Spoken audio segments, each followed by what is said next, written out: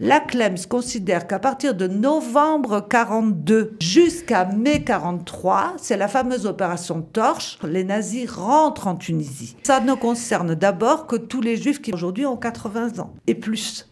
Donc les gens qui sont nés avant juin 1943, eux pourront prétendre à cette indemnisation.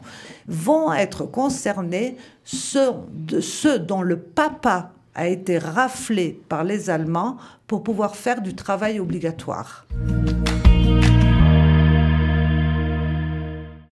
Si vous cherchez à avoir des informations euh, sur l'indemnisation des Juifs de Tunisie euh, suite à la Shoah, bien restez avec nous. Nous allons essayer d'éclaircir tous les messages qui passent sur les réseaux sociaux et surtout euh, vous dire ce à quoi vous avez le droit si vous étiez en Tunisie pendant la Shoah. bonjour à toutes les deux. Ben, voilà, Ayala Bloom, responsable du Centre des droits, et Elisabeth Garot, bénévole.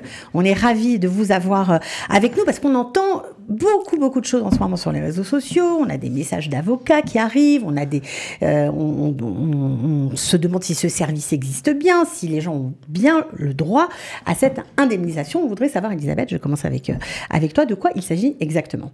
Jusqu'à présent, les Juifs de Tunisie, de même que les Juifs du Maroc ou d'Algérie, ont touché par la Clems Conférence une somme de 2500 euros qui était considérée comme pour solde de tout compte. Comme une indemnisation, une indemnisation euh, globale pour, parce que pendant très longtemps, la Clems a considéré que ceux qui étaient touchés par la Shoah, c'était les Juifs d'Europe et d'Europe de l'Est.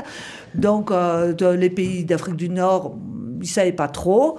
Et donc, pendant très longtemps, ils n'ont, droit, ils n'ont eu droit à rien. On, rappelle quand même que la Clems Conférence, ce sont les réparations allemandes, en fait. Ce sont les réparations allemandes, c'est ça. C'est de l'argent qui est détenu aux États-Unis, mais qui est distribué euh, par les Allemands à Francfort et qui donne cet argent euh, aux Shoah. Donc, par des pensions trimestrielles pour ces juifs d'Europe de l'Est ou, de France qui ont été, et des, là, c'était pour les... des enfants cachés ou autres. Et là, donc, on a donné aux juifs d'Afrique du Nord 2500 euros. On leur a rajouté un petit peu pendant le corona en disant. Euh, Mais c'était une, c'était une fois, quoi. C'était une somme, ce qu'on appelle la khatpami. C'était une fois. À partir du moment où ils ont eu cette somme, le gouvernement israélien les a reconnus comme rescapés de la Shoah et leur donne une fois par an une petite pension mensuelle qu'ils voient sur leur compte fin janvier, début février. Y compris pour les juifs tunisiens? Tous, tout le monde. tous les juifs qui seront euh, reconnus comme rescapés de la Shoah, du moment que la Clems les a reconnus comme tels et leur a donné un peu d'argent. Ok. Donc, alors ils ont cette petite somme mensuelle et ça leur donne par exemple droit aussi aux médicaments gratuits. En gros, euh, ça leur donne des réductions, ça dépend des mairies, pour la Enfin, ils ont des petits avantages euh, parce que précisément le gouvernement israélien, et cette somme, elle, ils l'obtiennent par le ministère du Trésor. Israélien, il faut bien préciser. Alors, qu'est-ce qui est nouveau aujourd'hui? Est venu se rajouter à ça une négociation entre les Allemands et l'État d'Israël pour les Juifs de Tunisie et de Roumanie. Donc nous, on va se concentrer, parce qu'on n'a pas beaucoup en Roumanie, on va se concentrer sur les Juifs de Tunisie. Donc les Juifs de Tunisie, en plus de cette petite somme, vont pouvoir recevoir une allocation mensuelle. Maintenant, beaucoup d'appelés, peu d'élus, il va y avoir des conditions drastiques pour obtenir cet argent. Alors, ça veut dire quoi, euh, des conditions drastiques? Est-ce qu'on les connaît? Oui, euh, on les connaît d'abord parce qu'elles sont dans le dossier, mais aussi euh, un petit peu globalement. Et aussi, pour pouvoir les comprendre, il faut un petit peu revenir sur l'histoire. Alors, ce qui s'est passé, c'est qu'en 1940, les Juifs de Tunisie subissent les lois de Vichy. Parce que Pétain, à qui on avait absolument, les Allemands lui avaient strictement rien demandé, promulgue ces lois, ces statuts anti-juifs qui vont toucher non seulement la France, mais aussi les protectorats. La Tunisie étant un bellicat, donc la Tunisie est aussi concernée. Alors, je, dès à présent, les gens qui vont remplir les dossiers, tous ceux qui vont raconter tout ce qui leur est arrivé en 40, ne le faites pas ça n'intéresse, c'est pas que ça malheureusement, ça n'intéresse pas, ça ne concerne pas ce problème. Ce qui s'est passé, c'est qu'entre 40 et 42, bon, ils ont été assez malmenés, les Juifs de Tunisie, d'abord à cause de ces fameuses lois antisémites, il y a eu des pogroms, il y a eu un pogrom à Jabès, par exemple, donc ils ont été très malheureux, mais malheureusement, rien ne sera pris en compte. Ce, par la Clems. La Clems considère qu'à partir de novembre 42, il faut bien retenir la date. Jusqu'à mai 43, c'est la fameuse opération Torche. Les Allemands rentrent, les nazis rentrent en Tunisie. Et quand ils rentrent en Tunisie, les choses vont changer. Par exemple, là où il y a eu ce pogrom à Jabès et à l'île de Djerba, comme les nazis, avant d'être de grands criminels, sont d'abord des grands voleurs, ils vont prendre, ils vont soumettre à la les communautés juives à l'amende et ils vont leur demander une somme de 70 kilos d'or. Ah, c'est aberrant, c'est énorme. Bon, bah alors ça, ça, va concerner certaines, euh, certaines villes de Tunisie. Donc ça veut dire que la, la, Clems conférence va indemniser ceux qui étaient de 42 à 43, c'est ça? À partir du moment où l'opération Torche a commencé. Donc ça ne concerne d'abord que tous les juifs qui malheureusement aujourd'hui ont 80 ans et plus, pas avant. Donc les gens qui sont nés avant juin, ou juillet, on va dire juin, parce qu'en fait les Allemands sont partis au mhm. mois de mai, avant juin 1943, eux pourront prétendre à cette, euh, à cette, indemnisation. Maintenant, on va plus loin. Je vous ai parlé de Jabez, je vous ai parlé d'île de Gerba. Eux non plus vont pas être concernés. Qui va être concerné? Vont être concernés ceux, de ceux dont le papa a été raflé par les Allemands pour pouvoir faire du travail obligatoire. C'est-à-dire que les Allemands, alors c'est vrai que les Allemands ont déporté des Juifs, ils les ont déportés par avion. Et par exemple, le papa de Serge Moati, hein, qui est assez célèbre, a été déporté à Auschwitz, il n'est jamais rentré. Euh, donc il y a eu des juifs qui ont été vraiment déportés, euh, ceux qui sont revenus ont touché d'autres indemnisations, on ne va pas rentrer là-dedans. Mais on va dire que les juifs qui étaient des enfants, et dont le... Aujourd'hui, malheureusement, ils sont partis, ils ont plus de 100 ans, les autres. Mais les, gens, les juifs qui étaient des enfants, et dont le papa a été raflé. Alors les rafles pour le travail obligatoire, elles ont eu lieu essentiellement dans trois villes. Elles ont eu lieu à Tunis, elles ont eu lieu à Sfax et elles ont eu lieu à Sousse. Donc j'en déduis que c'est seulement euh, les gens de ces villes-là qui vont être indemnisés, c'est ça? concernés. Mais moi, je pars du principe que comme la CLEMS change souvent ses critères, que c'est des questions d'argent, euh, c'est-à-dire... Faut quand même remplir les dossiers. À mon sens, les gens ne perdent rien. Euh, qu'est-ce qu'ils perdent? On va leur envoyer une lettre type par la CLEMS qui va leur dire Je suis conscient des souffrances que je partage, mais malheureusement, vous ne rentrez pas dans nos critères » ils perdent rien. mais il vaut mieux toujours faire un dossier, mais pas être délirant. C'est-à-dire quelqu'un qui a 20 ans qui va demander, ça va pas marcher, quoi. Alors, euh, euh, j'ai eu des appels. Alors oui, il y a là justement, euh, oui, oui, c'est un sujet qui doit passionner. Bah, c'est-à-dire que il y, a, y, a un message qui a couru sur les réseaux, mais je ne sais pas je sais pas comment, et qui était pas clair. C'est le problème quand les messages sont pas clairs. C'est pour ça que cette émission, elle est très claire. Et après cette émission, vous serez vraiment au courant de qui a droit et qui n'a pas droit. Mais après ce message, j'ai eu des jeunes qui m'ont appelé. Il paraît que si j'ai un père ou une mère tunisien, je touche 6500 shekels par mois. Ah non. non. pas du tout. Ou des personnes qui sont nées en 1955 qui me disent, j'ai mis 55, c'est après la Shoah. On parle même pas des six mois où les Allemands. il y a beaucoup, il y a beaucoup Mes grands-parents ont beaucoup souffert. Oui, oui, mais est-ce que vos grands-parents sont là? Non, ils sont décédés. Et vos parents aussi? Donc, ça marche pas. Non. Ok. Alors donc les juifs qui vont être concernés, ce sont des juifs qui ont déjà touché ces 2500 euros. Donc ils ont déjà envoyé un dossier où ils ont raconté leur témoignage. Alors tout le problème, il va être là. Euh, qu'est-ce que va faire le gouvernement israélien? Il va comparer les témoignages. Il faut que les témoignages. On peut pas inventer une nouvelle histoire pour avoir une nouvelle indemnisation. non, il faut que les témoignages soient cohérents. Donc quelqu'un qui par exemple va dire je suis né à Tunis, mais comme il y avait la guerre et que mes parents avaient très peur, ils m'ont envoyé en vacances. Enfin, ils m'ont envoyé chez des cousins qui habitaient à la campagne. C'est fini. Donc il va falloir effectivement raconter. Bon, quand on a été bébé en 42-43, on n'a aucun souvenir avant l'âge de 4-5 ans. C'est clair. Donc on va déjà commencer son témoignage. J'ai un peu les tuyaux que je vais donner là maintenant en disant euh, maman m'a raconté que. Surtout qu'on est quand même dans des générations où on parlait pas aux enfants, on ne leur racontait pas. Donc on leur a même raconté parfois beaucoup plus tard. Donc ils peuvent tout à fait dire maman m'a dit que quand j'avais deux ans, elle allait voir papa qui avait été raflé pour faire du travail obligatoire. C'est des travaux de voirie qu'on leur a demandé, c'est des entretiens de port, d'aéroport des, des, boulots un peu. Parfois même, on a réquisitionné des dames en leur disant, bah, tu fais la cuisine. Euh, pour, Donc ça aussi ça marche. Donc ça aussi ça marche. Et comment Et comment Donc dire effectivement, maman m'a raconté que à cette époque il s'est passé ça. Évidemment, il n'y avait pas de nanny, donc les mères elles prenaient les enfants avec elles. On allait voir papa ou on allait faire en tant que maman du travail pour les Allemands. Et à ce moment-là, on prenait les enfants avec nous. Et les enfants, eh ben, ils aidaient un petit peu ou ils étaient là pour assister. Donc ceux-là, ces enfants-là vont avoir droit à quelque chose quand ils vont raconter ça. Mais si effectivement leur témoignage n'est pas cohérent avec ce qu'ils ont raconté avant musulmans ou ils viennent d'autres villes ou autres, parce que, comme on l'a répété, les, les rafles, les juifs qui ont été forcés, alors au début on leur a demandé de se présenter, ils n'étaient pas fous, ils ne se sont pas présentés tout seuls, donc on est parti dans les synagogues les, les chercher, on les a raflés. Ça concerne quelques milliers de juifs.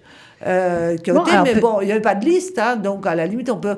Je dis pas qu'il faut mentir, mais. Non, on peut raconter. Ah, voilà. Mais alors, racontez pas aussi, comme certains m'ont dit, moi, mes oncles. Les oncles, non, ça marche pas. C'est papa et maman. Ok, alors de toute façon, on va préciser comment euh, on fait pour bien remplir ce dossier et pour euh, surtout essayer d'obtenir cette aide. Ayela, euh, est-ce que tu sais combien, de combien il s'agit? De combien de, de il s'agit ou personne alors, ne le sait? le, le, chiffre qui a été lancé, c'est 6500 shekels par mois, 6500 shekels par an.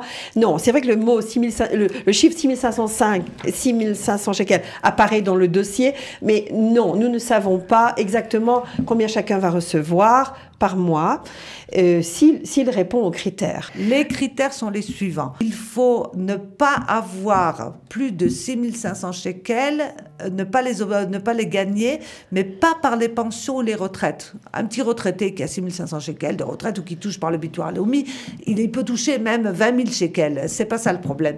Mais en revanche, s'il touche 6500 shekels, parce que bon, il est riche, il a des appartements, donc il touche des loyers ou il a Ouais, des, ouais, des ouais, actions. Alors ça, ça c'est ces revenus-là, oui, s'il dépasse 6500 shekels, déjà il n'aura pas droit. D'accord. Bon, Il y y, a beaucoup de critères. il y a en plus comme critère, par exemple, que je trouve un critère un peu aberrant parce que c'est très difficile à évaluer. Ils disent il faut pas avoir un appartement qui coûte plus que 1 900 000 shekels. Bon, à l'époque où on l'a acheté, aujourd'hui où le prix des appartements sont délirants, est-ce que ça va être prouvé? Est-ce qu'il faut le Donc, on démontrer? comprend que, Donc euh, euh, voilà. Alors déjà, c'est pas dans nos mains, quoi. Voilà, C'est- pas dans, ça, pas dans nos mains. Ça, c'est le premier critère. Le deuxième critère qui va être très important, ça va être au cas par cas. Oui. Pourquoi? Parce que le ministère de la Justice, qui a été le premier à parler avec la CLEMS, qui a refilé ça au ministère de, des Affaires sociales, au ministère de la, De la santé, Santé. voilà, ça va être au cas par cas, ça va être des situations. C'est, euh, ça va être en fonction de la situation de la personne qui a 80 ans ou plus.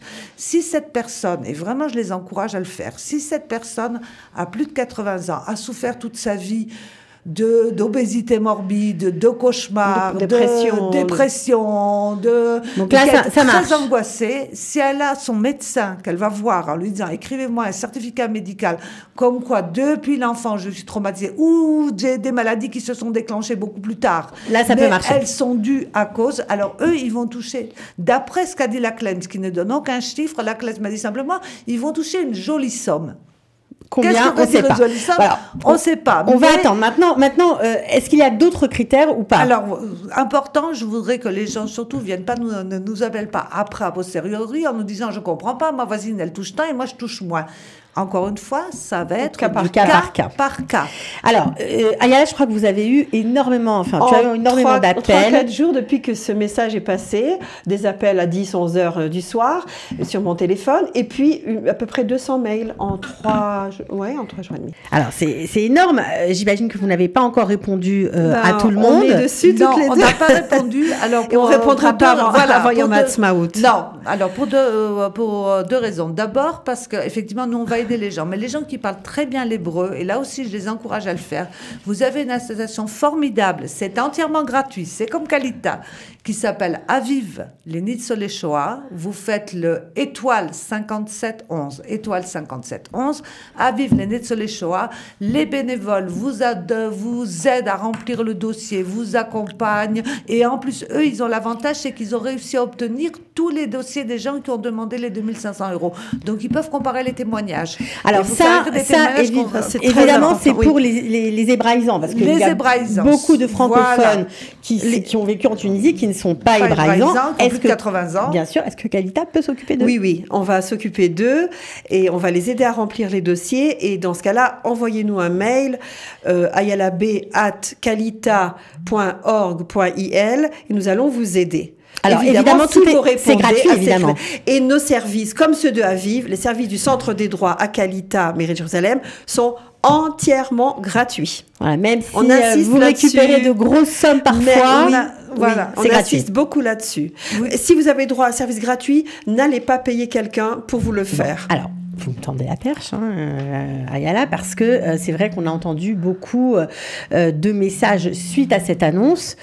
Euh, des messages de, monnayant les services pour récupérer cette aide. Alors, Oui. c'est Bon, des arnaques, c'est c'est Non, quoi c'est pas nouveau. Ça a eu lieu, par exemple, quand les Marocains, beaucoup, et les Tunisiens ont eu droit à ces 2500 euros. Ils se sont tous précipités chez les avocats. J'adore les avocats. J'ai beaucoup de copains avocats. Ils ont droit de vivre. C'est pas forcément une arnaque, mais c'est pas nécessaire de arnaque, payer, c'est ça Pourquoi demander 10% de la somme au minimum? C'est une Ouais. aberration. Et les gens sont tellement angoissés en disant ah ben, moins j'ai donné un avocat, moins je suis Ouais. Non, c'est un service gratuit. Vous envoyez votre dossier, il sera traité de la même manière. Donc pourquoi passer par quelqu'un? On est là pour ça. C'est la c'est un peu la justification de qualité. hein. Ouais. D'avoir des bénévoles, on est là pour aider les gens. On va, euh, d'abord, on va dire, on a énormément de demandes. Là, on va rentrer Yom HaZikaron et Matzmaout. Il y a le temps. Ça va avoir lieu. Ces, ces dossiers vont, devront être remplis jusqu'à la fin de l'année. D'accord, donc pas de. Voilà, c'est ça. voilà. C'est très important, Elisabeth, de le dire.